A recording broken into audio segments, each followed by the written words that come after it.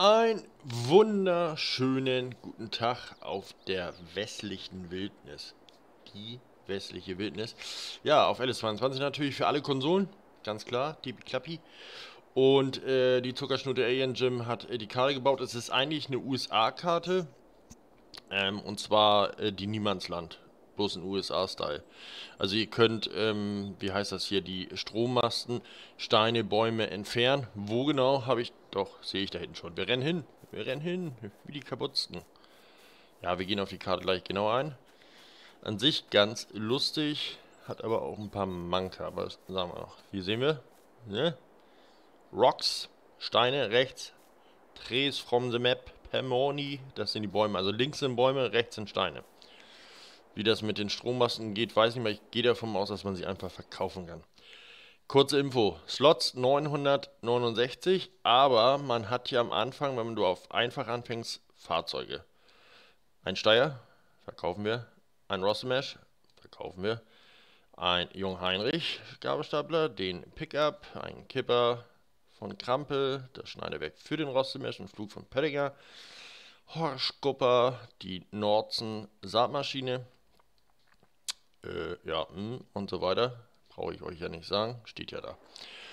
420.000, jetzt gucken wir nochmal auf Slots, jetzt ist nämlich der Hase anders. 879 für PlayStation 5, gut für PlayStation 4, ah, aber ich weiß, dass man mit äh, 1400 Slots sich eine komplette Karte umbauen kann, also machbar. Aber ich würde schon eher sagen, fangt auf Mittel an, damit ihr euch Geld draufknacken könnt oder diese Regierungskackschilder, ne? Die, die sind ja gut zum Bauen. Ja, man hat hier so eine kleine Anfangsstadt. In Anführungsstrichen war hier Shop, Viehhändler, Ballenverkauf. Hier ist so alles, was man sich so träumt. Ich gehe mal in die Luft. Ja, und schwer zu erkennen. Ihr kommt aber auch diesmal, also ich kann hier zwar jetzt gerade nicht nach links. Das ist so wie bei Niemandsland, ne? Du hast eine Autobahn. Der Rand, hier ist irgendwie alles Mögliche hingeknallt. Kann man davon was verkaufen? Wir triggern mal lang hier. Öh. Verkauf, Kauf, Multikauf, Frucht. Also es ist eins zu eins wie Niemandsland, bloß neu. Bloß vorhin ist mir aufgefallen, als Figur kannst du rüberrennen. Mal sehen, wie weit. Ah, okay. Als Figur ist hier Schluss. Baummenü ist vorne schon am Zaunschluss. Performance der Karte extrem gut, aber ist ja klar, ist nicht viel drauf auf dem Anker. Wir können ja mal hier so durchschwutschen. Hier ist noch ein äh, Funkturm, hier ist ein Aussichtsturm. Und die Teile hier, die soll man entfernen können, sagt er. Jetzt zeigen wir kein Symbol an. Keine Ahnung, wo die zu entfernen sind. Ich würde sie aber auch noch nicht mehr dringend entfernen. Könnte man noch eine schöne Straße direkt heranbauen. Ja, Niemandsland. Bloß halt, äh, ne, USA-Style. Wobei ich äh, der Meinung bin, man muss nicht zwingend USA bauen. Und das geilste ever ist, ihr seht es schon, platt wie eine Flunder. Und das wird im Gegensatz zu der Niemandsland natürlich Vorteile bringen. Weil die Niemandsland, da musst du erstmal gefühlt 20 Milliarden draufzahlen, um die ganzen scheiß Berge wegzuknallen. Das hast du hier nicht. Und wie wir hier sehen, hier ist so eine alte Scheune, wobei die Standarddeko ist schon sexy, oder? Oder?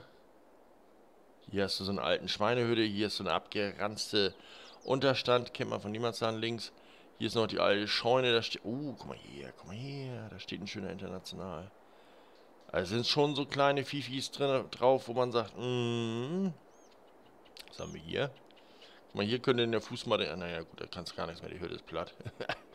Tierstelle, okay, das ist ein alter Hof, das heißt, man ist gezwungen, wenn man hier bauen möchte, diese drei Schilder hier vorne zu entfernen. Was steht denn da drauf? Powerlines.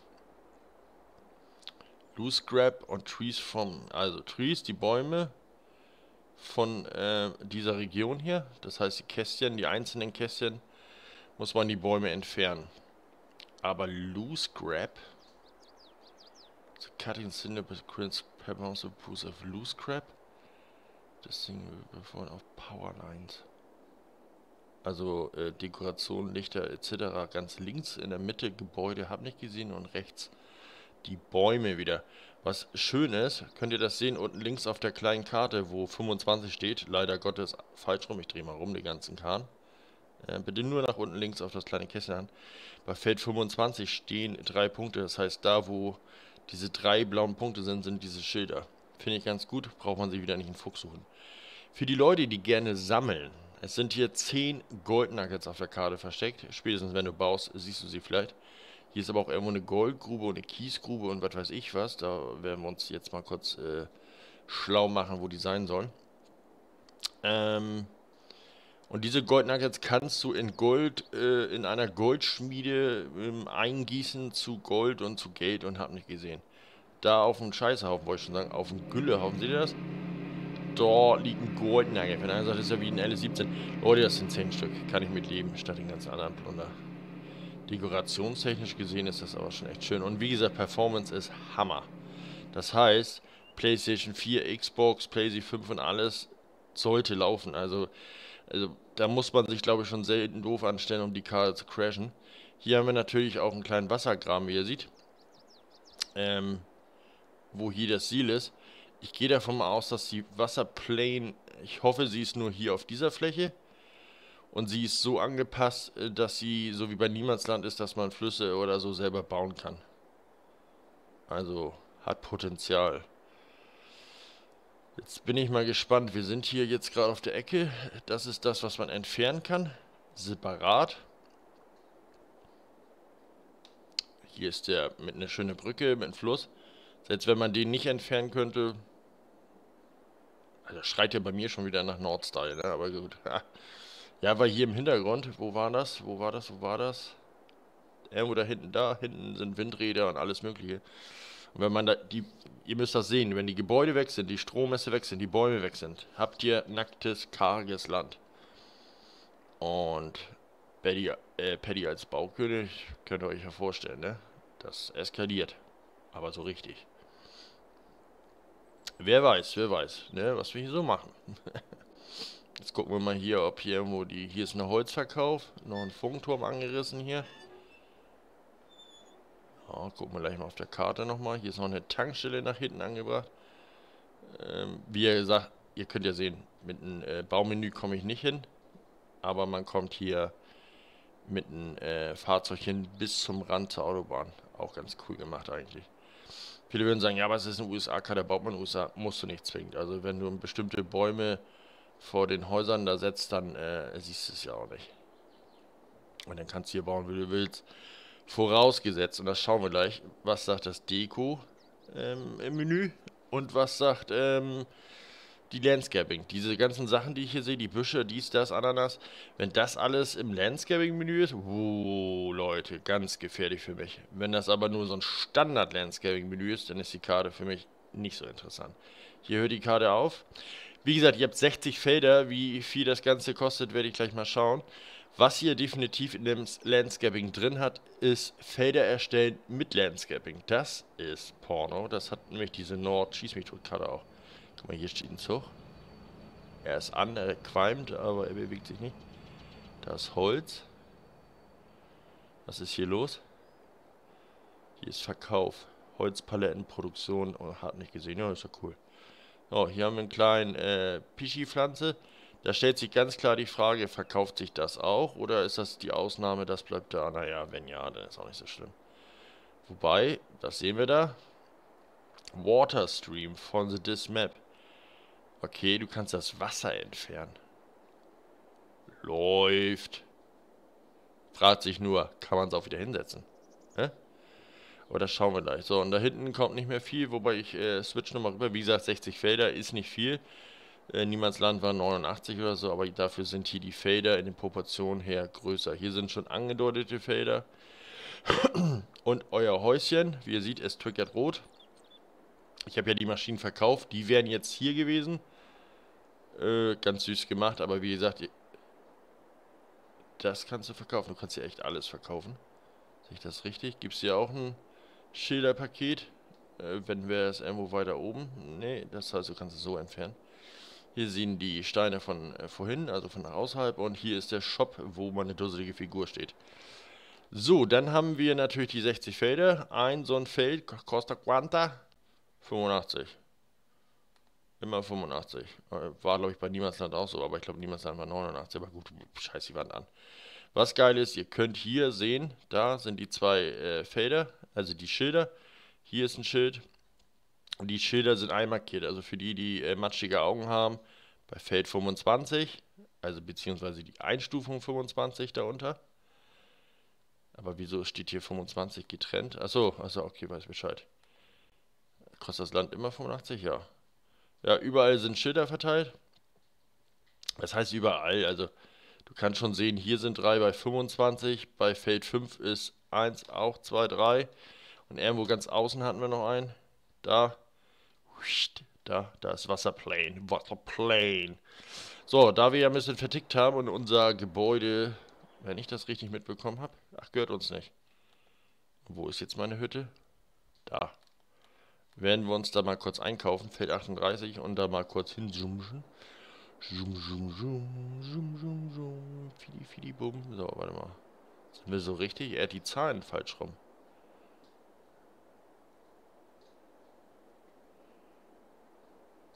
Wie geht das denn hier? Bin ich überhaupt richtig? Ja, die Karte, das, äh, vielleicht sollten wir mal eine feste Karte reinknallen, aber gut, wir finden das schon. Es kommt da ja 37, das heißt, da hinten irgendwo ist unser Hof. Was habe ich jetzt gesagt? 33? Keine Ahnung, was machen wir so ein Fickfilm da draus? Warte mal, wo steht meine Figur? Irgendwo hier, ne? So. Kommt das wieder weg. Achso, da ist jetzt äh, Objekte drauf. Jetzt kann ich es nicht verkaufen. Ja, müsst ihr erst die Objekte verkaufen und dann könnt ihr abgreifen. Ich will nämlich ins Landscaping-Menü rein. Ganz wichtig. So, Felder erstellen. Was ist nicht mein Land? Das habe ich doch gerade gekauft. Vier. Ey, das muss, äh, das muss er ändern, dass die Karte dreht. Das ist ja Katastrophe. Ja, daneben ist auch mein Land. Mein, mein Land. So. So, nochmal. Sorry. Hier habt ihr Felder erstellen. Was man natürlich jetzt daran sieht, viele würden sagen, ja, das habe ich auch gesehen. Macht es erst grün. Glatt, damit die Gezumpel da drauf weg ist. Und dann könnt ihr auf Felder erstellen gehen. Zack, zack, zack. Gerade für die Jungs und Mädels, die groß größere Felder machen, weil sie nicht so äh, den Rest äh, nicht so wissen, was sie bauen sollen. Für die ist das natürlich Baba, ne? Das ist natürlich richtig geil. So, wir gucken jetzt aber weiter. Wir haben hier so eine Mattstraße, wir haben normalen Teer, wir haben normalen, Anführungsstrichen, normalen Kies. Wenn jetzt noch der Gegenkies da ist, ist es interessant. Deswegen probiere ich jetzt schon mal was aus. Ich mache mal hier kurz zwei Richtungen hin. Ja, was für einen Straßenstil man setzen könnte. Ja, ob es überhaupt geht. Krisselgras, Unterfläche. Ach du Scheiße. Also er hat ja hier Gras mit Dreck. Ist interessant, wenn man ähm, kleine, Weit äh, kleine Feldwege baut. Hier ist Teer, also beziehungsweise Kies. Jo, Außenkies ist auch da, das ist gut. Damit kann man richtig was anfangen. Was haben wir hier? Oh. Hier ist dieser Kies, den man außen macht. Kennt ihr noch von der polnischen Karte? Hier ist der noch kleinere Kies, den man außen macht. Was ist das? So ein gebrochener Stein. Nochmal milderen Kies. Kann man so einzelne Flecke machen. Noch dunkel. Also hier, das ist das definitiv das Baumenü von der polnischen Karte. Eieiei, kannst dich ja dumm und dusselig bauen hier, ne? Steine, Steine. Was ist das? Fitzen oder was? Oh ja, so, so, so ein bisschen Schmodderfitzen. Gerade so gut für Kuhstall oder so. Könnte man aber auch als Fitzen benutzen. Es ist auf jeden Fall eine Wasserplane-Optik. So, jetzt gehen wir auf Pflanzen. Und das ist eigentlich das Wichtigste in so einer Karte. Weil jetzt hast du jetzt so gesehen hier eine Straße und dann setzt du das einfach so rüber.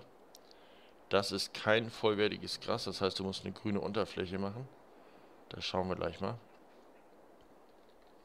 Dann hast du natürlich Büsche und so einen Scheiß, da brauchen wir nicht drüber reden.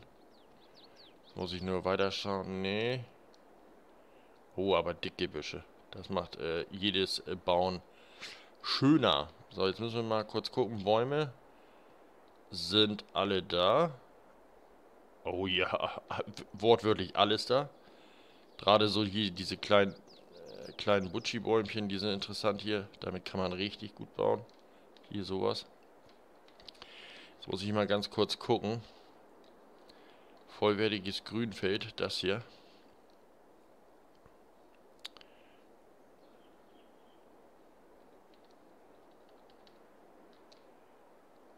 Ja, okay, so kriegst du es grün. Ja, so macht man das eigentlich. Grün, leicht verwachsen, grün mit Kies, Kies, heller Kies, dunkle Flecke, hab nicht gesehen, da hast du so einen Straßenweg, aber in der Mitte würde ich es anders machen noch. In der Mitte würde ich das hier so mit Teer machen vielleicht. Können wir ja mal ganz kurz gucken. Ob wir hier so ein bisschen was hinkriegen. Ja.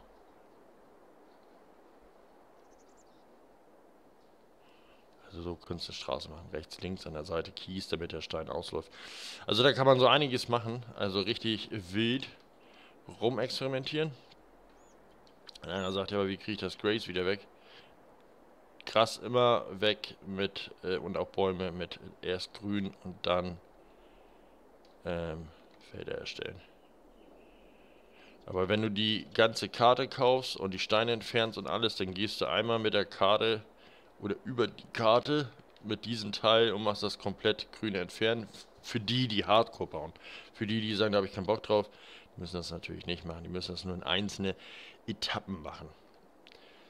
Ja, können wir mal gucken. Hat er das Feld jetzt schon erkannt? Seht ihr, da ist das Feld. Und wenn ihr genau hinschaut, auf der Karte, seht ihr das? Da, in meinen weißen Penippel, da ist Gold. Und da ist ein grüner Point. Da ist Gold. Aber was ist der grüne Point? Das will ich natürlich noch wissen mit euch. Das machen wir noch schnell.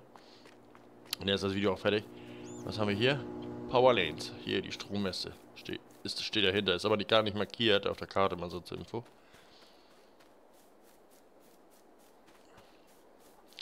Bin ich hier jetzt richtig? Nee, weiter rechts. Hm. Was soll das sein? Zu viel. Hier ist irgendwo, muss hier eine Markierung sein.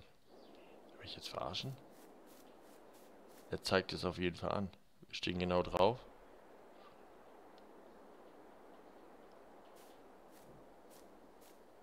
Kuckuck. ja, keine Ahnung. Finde ich nicht. Ja, wenn einer sagt, könntest du daraus eine deutsche Karte bauen? Auf jeden Fall, ist kein Problem. Ähm, ob ich das mal mache oder vielleicht äh, heute mache oder über die Tage oder ein Safe Game mache, das kann sehr, sehr stark sein. Weil man hier einfach viel bessere Bodentexturen hat als auf der Niemandsland. Also wenn Alien Jim lieb wäre, also so richtig lieb, macht er die Bodentexturen und äh, also die, die, die äh, Felderstellung, Kies und den ganzen Kram auch auf die Niemandsland drauf, dann wäre Bombe hoch 3. Denn dann würde ich auf der Niemandsland eskalieren. Ist so, aber ich habe auch eigentlich gedacht, dass er auf der Niemandsland das mal macht, aber jetzt macht er hier ein eigenes Ding ausbringen. Vielleicht ist er nur so lieb und haut aus der Niemandsland nochmal Color Paints hier nochmal rauf, ne, für die Frage, dass er äh, Deutsch nicht kann. Ja, für die Leute, ihr dürft gerne liken. Sorry, dass das Video ein bisschen länger gedauert hat, aber ich wollte euch die einzelnen Punkte zeigen, wie ihr die Karte platt kriegt und was für Tricks und was man machen kann. Hat Potenzial, die Karte. Sehr hohes Potenzial. Zur Info, äh, ähm, für die Leute, die bis hier wirklich hingeschaut haben und wirklich zugehört haben. Dachi, unser Freund Dachi, bringt eine neue Karte raus. Die kommt auch für Konsole in den nächsten ein, zwei Wochen. Und ähm, was noch interessant ist, der Kuhstall, der kleine, wenn du jetzt auf der Ehrengrad-Karte spielst, hast ein kleines Häuschen mit einem Schuppen hinten dran, dann kannst du den kleinen Kuhstall nehmen, mehr brauchst du nicht. Für ganz kleine Spieler. Ist nur mal so ein Geheimtipp.